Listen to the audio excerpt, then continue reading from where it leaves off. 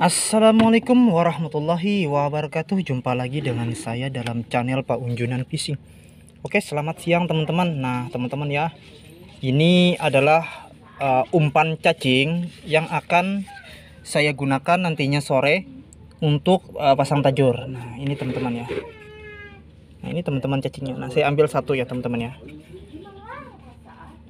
Nah teman-teman inilah cacingnya yang akan saya gunakan sebagai umpan tajur.